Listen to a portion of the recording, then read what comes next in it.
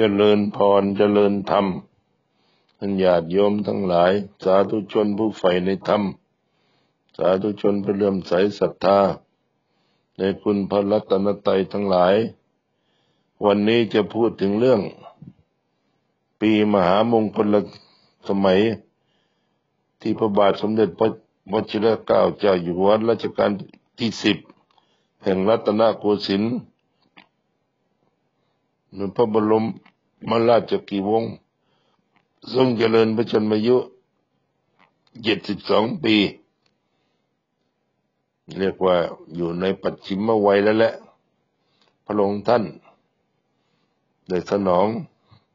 งานพระบรมชนกนาถมาเนิ่นนาน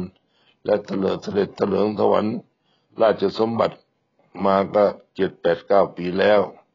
ฉะนั้นเมื่อพระองค์ทรงเจริญพระชนมพรรษา ครบเจ็ดสิบสองปีก็มีการจัดกิจกรรมกิจการเพื่อเทิดประเกียรติเฉลิมพระบุญญาบารมีแห่งพระองค์ท่าน เพื่อตอบเป็นตอบแทนกตัญญูกตวิจิตา ที่พระองค์ทรงกระทำไว้เพื่อประเทศชาติบ้านเมือง ประสบนิกรไฟฟ้านาประชาราชดังที่เราเห็นปรากฏแล้วนั่นแหละ พระองค์เนี่ยสถาบันพระมหากษัตริย์ไทยเนี่ยล้วนแล้วเป็นศูนย์ รวมในการสร้างความดี ทำประโยชน์ให้เกิดเป็นดิน เพื่อประโยชน์แก่ประสุประโยชน์สุขแก่ประชาชน ทุกหมู่เหล่าไม่ว่าจะเป็นนับถือศาสนาคริสต์อิสลาม หรือว่าศาสนาอินดู ศาสนาซิกศาสนาพุทธอะไรก็แล้วแต่ล้วนแล้วพระองค์ไม่ได้เลือกทรงเป็นศาสนูปถัมภกทุกศาสนานั่นแหละ แต่พระองค์ทรงเป็นพุทธมามกะ ในพระพุทธศาสนา ทรงยึดมั่นในพระรัตนตรัย ทรงเสด็จออกพนวด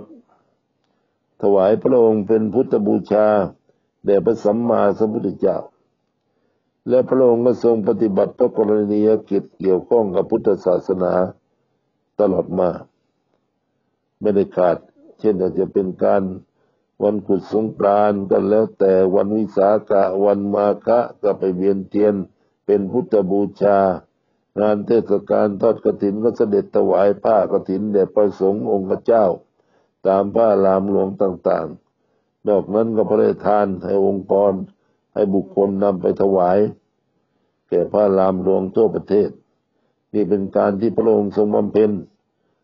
ก็เรียกบำเพ็ญบุญบำเพ็ญกุศล ในหน้าที่ทรงเป็นเจ้าพุทธเนี่ยพระองค์ก็ต้องเป็นต้นแบบให้เราเห็น ทีนี้การการที่พระองค์ทรงบำเพ็ญกรณียกิจน้อยใหญ่ ให้เป็นประโยชน์กับประเทศชาติบ้านเมืองเป็นประโยชน์ต่อประชาชนประสบนิกร กันขัดสุดจะขนาดนั้นเนี่ยที่เอาสนามมาเกียนางเลิงมาทำสวนป่าไม้นานาพันธุ์เพื่อเทิดทูนพระบรมชนกนาน ได้รอรูปอนุสาวรีย์ แห่งคุณงามความดีในรัชกาลที่เก้าในสถานที่นั้นสง่างามปลูกต้นไม้ประจำจังหวัดหลายๆจังหวัดเจ็ดสิบหกเจ็ดสิบเจ็ดจังหวัดนี้ต้นไม้สำคัญในจังหวัดประจำจังหวัดนั้นก็เอามาปลูกในที่นั้นทำเป็นลำธารทำเป็นที่พักผ่อนทำเป็นปลอดหายใจ ให้กับประชาชนชาวกรุงและชาวที่เข้ามาในกรุงเทพมหานคร ถึงความคิดย้ายสวนสัตว์ ไปอยู่นอกเมือง อันนี้ล้วนเป็นพระมหากรุณาธิคุณทั้งนั้นแหละทรงพระทาพระราชทานทุนทรัพย์ ไปซื้อเครื่องตรวจโรคมะเร็งโรคอะไรหลายอย่างที่มอบไปกับโรงพยาบาลศิริราช พระองค์ทรงบำเพ็ญกุศลบำเพ็ญกรณียกิจปิดทองหลังพระตาม พระราชประสงค์แห่งพระบรมพยนต์นาถแล้วก็ทรงได้รับการเรียกว่านำสิ่งที่พระบรมชาติชนกนาถได้กระทำไว้พระราชทานไว้ก็เอามาสืบสารต่อยอด เป็นปฐมบรมราชองการของพระองค์ จะได้นำสื่อสารต่างๆเอามาสืบสารเอามาทำต่อและเพื่อประโยชน์สุขของมหาชน แห่งชาติไทยทุกคน และก็สิ่งใดเมื่อประชาชนทุกข์ก็ทรงพระราชทานให้เจ้าหน้าที่องค์กรต่างๆนำไปพระราชทานไม่ว่าจะเป็นอุทกภัยอักคีไปวาตภัยพระองค์ท่านก็พระราชทานไปตามอัตยาศัยที่มีอยู่ การพระราชทานพระมหากรุณาธิคุณขององค์พระมหากษัตริย์ ในสมัยรัชที่สิบรัชกาลที่สิบนี้บำเพ็ญบุญกุศลด้วยการ ไม่ต้องโฆษณาไม่ต้องไปออกอะไรมากมาย ทรงยึดหลักปิดทองหลังพระเพราะประสบนิกรชาวไทยก็เป็นลูกท่านนี่พระองค์ทรงอยู่ในฐานะที่เป็นบิดาของประเทศ บิดาองค์พระประมุขของประเทศ เราก็เห็นพระองค์ท่านว่าเป็นกริยกิจโดยใหญ่ อันนี้ก็เราก็ต้องสนองพระองค์ท่าน แล้วเราก็ทำบางคนก็จัดกิจกรรมบรรพชาอุปสมบทถวายเป็นพระราชกุศล อันนี้นับว่าในบุญหลาย เพราะว่านำคนมาพัฒนานำคนมากระทำฝึกขัดในด้านสมาธิติ สมาธิปฏิบัติเป็นพุทธบูชา ในเรื่องโอกาสที่ทรงเจริญพระชนมยุทธ72พรรษา แล้วก็จัดกิจกรรมน้อยใหญ่ บางแห่งก็กิจกรรมเฉลิมพระเกียรติเติดพระเกียรติสร้างวัตถุเสนาสนะเฉลิมพระเกียรติทุกอย่างนั่นแหละทำเพื่อเฉลิมบุญญาธิการในพระองค์ท่านได้แผ่ไพศาลให้สถาพรยินนักสู่แผ่นดินชาติไทย อันนี้เราก็รู้กันเองสิ่งที่ไม่รู้ก็มีเยอะนะที่ผ่านมาก็ไม่ได้ตานสมณศักดิ์ในพระสงฆ์สถาปนาเป็นรองสมเด็จเป็นจันธรรม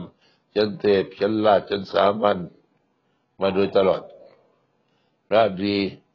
พระดีก็พระดีก็ได้รับพระมหากรุณา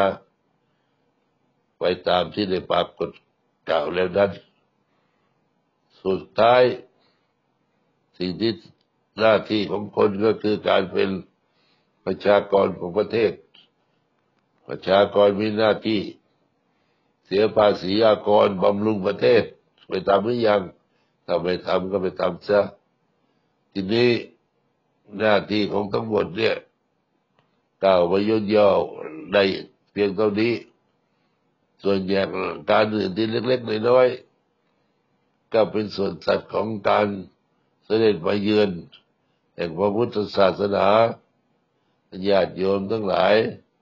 กระจงให้รู้หน้าที่และกิจกรรม ต่างๆ วิ่งบ้างทำพัฒนาอาสาบ้าง สร้างวัตถุเสนาธนะเฉลิมพระบุญญาธิการบ้างไหวพระสวดมนต์อธิษฐานได้พระองค์ สถาพรมั่นคง อยู่ในมหาสวรรค์ยืดยาวหลายอย่างนะ เพราะฉะนั้นเนี่ยการที่เราทั้งหลายเนี่ยยึดปฏิบัติเนี่ยเป็นหลักสำคัญเกี่ยว และพระองค์ก็ทรงมีพุทธเจตนา ให้คนไทยได้ไหวพระสวดมนต์เสริมสร้าง อันนี้ผู้เป็นพระสังฆาธิการทุกท่านที่เป็นสหธรรมิกะ กับวัดก็ดี กับหลวงพ่ออิมหลวงพ่อทองวัดพนันเชิงก็ตามหลวงพ่ออะไรก็แล้วแต่ นะที่อยู่ในนั้นที่จัดกิจกรรมกันเนี่ย กิจกรรมที่น่าจะจัดคือการปฏิบัติธรรม